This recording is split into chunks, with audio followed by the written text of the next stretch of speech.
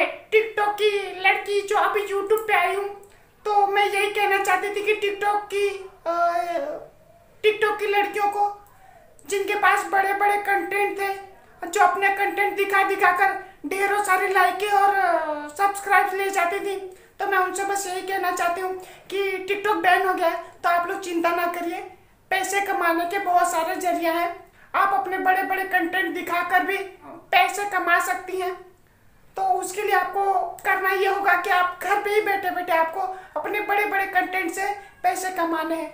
मेरे पास तो इतने बड़े कंटेंट नहीं है, छोटे कंटेंट है, फिर भी मैं पैसे कमाने की पूरी कोशिश कर रही हूँ। टिकटॉक पे आपको ऐसे बहुत सारे कंटेंट देखने को मिले होंगे। कंटेंट होता सबके पास था, लेकिन कुछ उसका उपयोग करती थी, कुछ नहीं करती थी।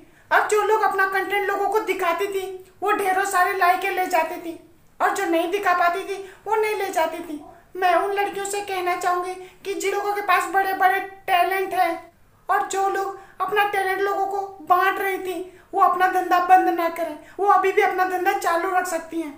अपने कंटेंट का सौदा अरे तुम तो वही हो ना जो टिकटॉक पे अपने हॉट कंटेंट देती थी। एक कंटेंट कितने का? पाँच सौ में छोटा वाला मिलेगा। और बड़े का? अरे आओ साइड में आओ ना बात करते हैं। तो ठीक है मेरे कस्टमर आ गए हैं। उनको कंटेंट देना है। ठीक है चलती हूँ। आप लोग मुझको यहाँ सपोर्ट करिएगा। सच में। ए कौन सा? दोनों लेगा कि एक लेगा? अरे तू आना ठीक है ला हज़ार रुपए दे। ले।